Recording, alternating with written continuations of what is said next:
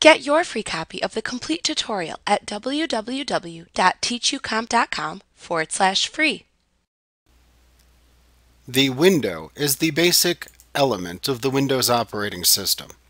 You perform many activities in different windows within the application. Windows that appear within the desktop will most often share a similar structure and layout. In this lesson, we will examine the features and functions that are commonly found within a standard desktop window. Desktop windows appear within a frame. At the top of the frame is the title bar. The title bar will usually display the name of the window or its contents. You use the title bar to control the size and placement of the window within the desktop. One of the most basic functions of the title bar is resizing windows. You can have several windows open at the same time in Windows, and you can control the size and placement of the windows on your desktop. A window can be opened either in maximized mode, restore mode, or minimized mode. If you look at the right end of the title bar within an open desktop window, you will see a three-button group.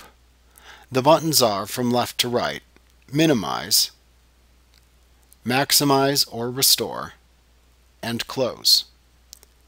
You can click the Minimize button in the title bar of an open window to send the window down to the taskbar at the bottom of the desktop. Although you cannot see the content of the window, the window is still open and active. You may choose to minimize a window to access information within a different window behind the one that was minimized. Minimizing a window will temporarily get it out of your way. To display the window again on screen, click the entry for that window within the taskbar.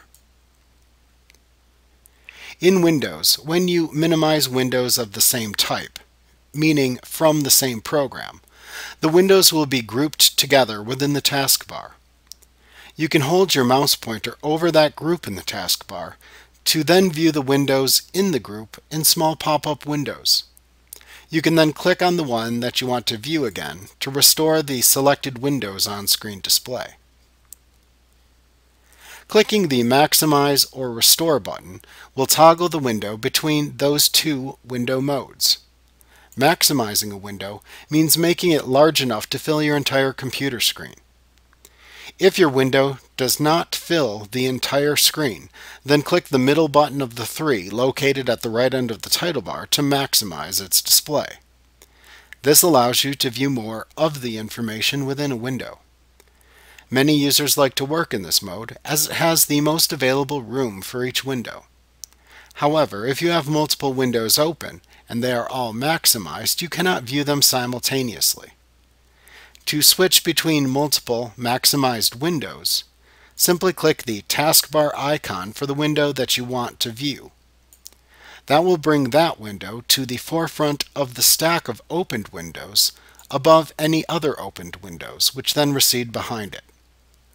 Doing this is called toggling between opened windows and is a technique that's also necessary to master if you need to work with more than one window at a time. Now, if your window is already maximized, then clicking the middle button of the three at the right end of the title bar will instead change the window to its restore mode. The restore window is a smaller window that allows you to change its size and position on screen.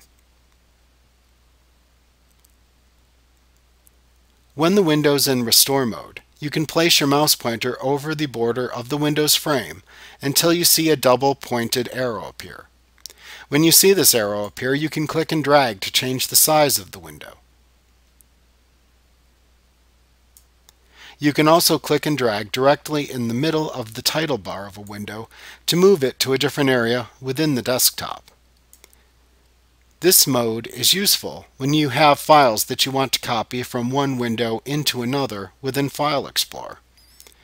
The Restore Window mode allows you to place the opened windows side by side to make drag and drop copying between the windows easier.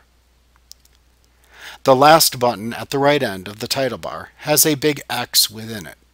This is the Close button, and clicking it will close the window. Like what you see? Pick up your free copy of the complete tutorial at www.teachucomp.com forward slash free.